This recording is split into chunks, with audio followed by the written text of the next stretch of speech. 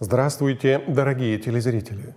Сегодня, 21 сентября, Православная Церковь торжественно празднует Рождество Пресвятой Владычицы нашей Богородицы и Преснодевы Марии. Пресвятая Дева Мария родилась в то время, когда люди дошли до таких пределов нравственного упадка, при которых их восстание казалось уже невозможным.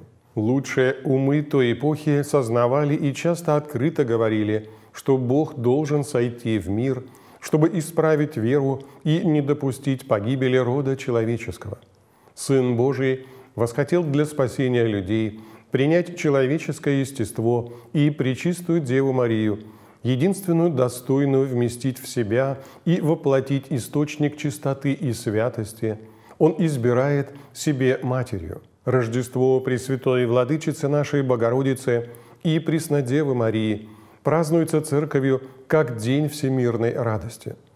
В этот светлый день на рубеже Ветхого и Нового Заветов родилась преблагословенная Дева Мария, предуставленная от века божественным промыслом послужить тайне воплощения Бога Слова, явиться Матерью Спасителя мира, Господа нашего Иисуса Христа – Пресвятая Дева Мария родилась в небольшом галилейском городе Назарите. Родителями ее были праведный Иаким из рода пророка и царя Давида и Анна из рода первосвященника Аарона. Супруги были бездетные, так как святая Анна была неплодна. Достигнув преклонных лет, Иаким и Анна не теряли надежды на милость Божию, твердо веря, что Богу все возможно – и он может разрешить неплодство Анны даже в ее старости, как некогда разрешил неплодство Сары, супруги патриарха Авраама.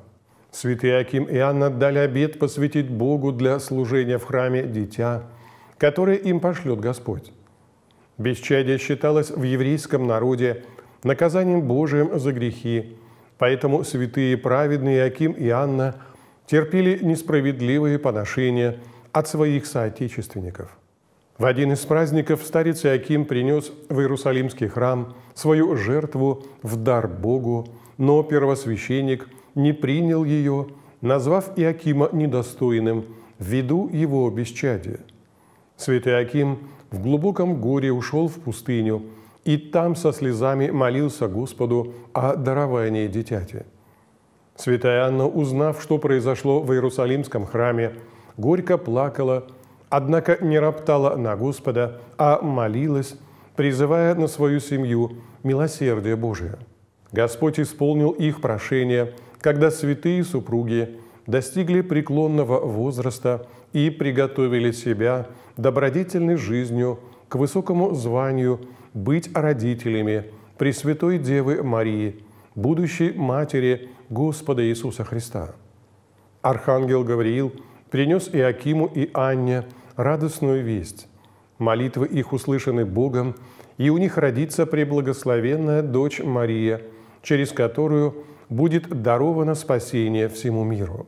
Пресвятая Дева Мария своей чистотой и добродетелью превзошла не только всех людей, но и ангелов, явилась живым храмом Божиим и, как воспевает Церковь, в праздничных песнопениях – небесной дверью, вводящей Христа во Вселенную, во спасение душ наших.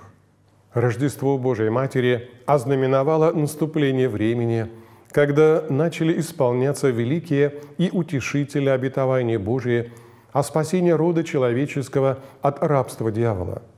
Это событие приблизило на земле благодатное Царство Божие, Царство истины, благочестия, добродетели и бессмертной жизни.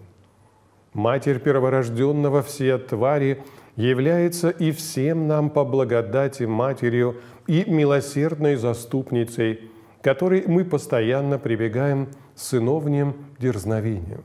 Дорогие братья и сестры, сегодня также чтится память святых, преподобных Иоанна и Георгия Исповедников, совершается празднование иконе Софии – премудрости Божией Киевской, а также чтимые иконы Рождества Пресвятой Богородицы – Симская, Глинская, Лукьяновская, Исааковская, прославляется иконы Божьей Матери Холмская, Курская, Коренная, Знамение, Почаевская, Леснинская и Домнинская. Всех, кто носит имена святых, прославляемых Церковью сегодня, я сердечно и тепло поздравляю с днем Тизаименитства и с праздником Рождества Пресвятой Богородицы. Благожелаю вам от Господа и Его Пречистой Матери мира душевного, здравия телесного и всесильной помощи Божией во всех добрых делах и благих начинаниях по молитвам ваших небесных покровителей.